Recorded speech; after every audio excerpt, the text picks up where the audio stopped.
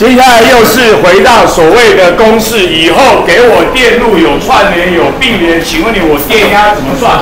我们的公式，第一个串联，串联是要全部加起来，串联的时候总电压等于分电压相加，啊，串一个电池一伏特，一个电池两伏特，一个电池三伏特，三个串在一起，一加二加三，总共有六伏特。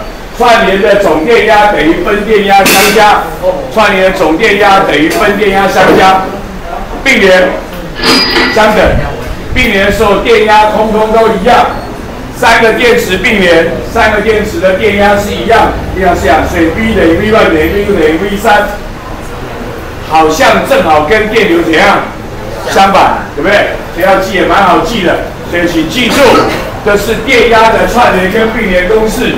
串联的时候要相加，并联的时候要相等，就请你把这个公式记好。以后碰到计算的时候，或者某一些观念题的时候，就要用到这个想法。OK，串联的时候电压是相加，并联的时候电压是相等，并联的时候总电压跟分电压都一样。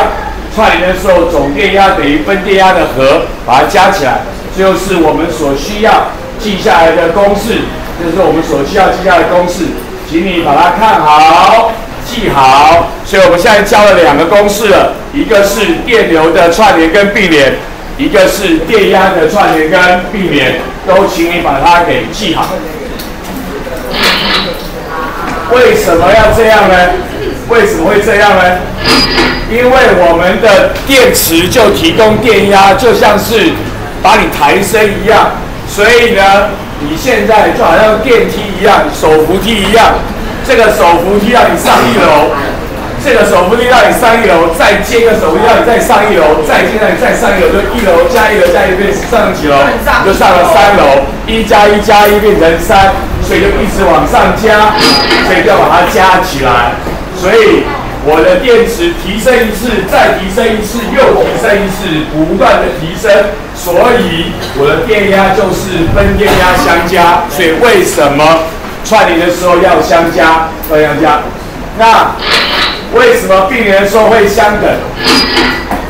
我们高岛屋一层楼可能有三四个手扶梯上去，这个手扶梯上一楼，这个手扶梯上一楼，这个手扶梯上一楼。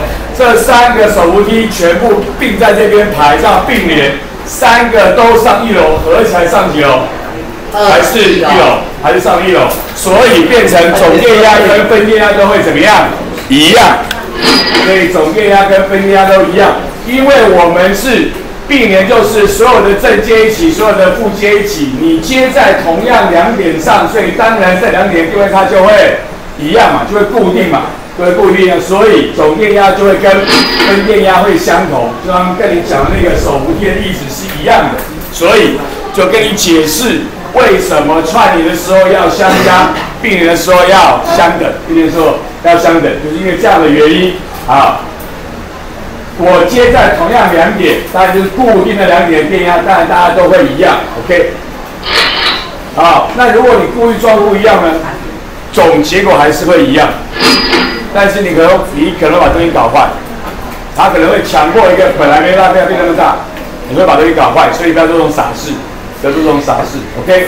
好，最后还是会一样。好，所以呢，你可能会弄坏它，不要做个傻事。好，那这是影片跟你讲我们的电压啊，这前面是我们看过的电流，前面是我们看过的电流，然后呢？后面呢，再看电压，这是一个两个是串联，然后呢，这总电压是一点五伏特，上面一个是零点七五，一个是零点七五，所以合起来就是一点五，这表示串联的时候总电压等于分电压的和，和它等于分电压和，OK，这就是这个图上面影片给你所显示的，串联的时候会相等。啊，并串对不起，串联说要相加，串联要相加。啊，这个是并联说要相等，也一样。前面是那个电流的部分，后面才是电压的部分，后来电压部分。然后现在去量电压，啊，这个呢量出来，上面量出来一点五伏特，下面也量出来也是一点五伏特，两个都是一点五伏特，然后总电压也还是一点五伏特。这叫做并联的时候，总电压跟分电压会相同，相同。好，用实验给你证明我们刚才跟各位所介绍的公式。那我刚刚跟你说过了，请你把它背好，背起来。你有两个要背，目前有两个要背，以后以后还多第三个，就是电流的串联跟并联公式，还有电压的串联跟并联公式，让你能够理解。OK。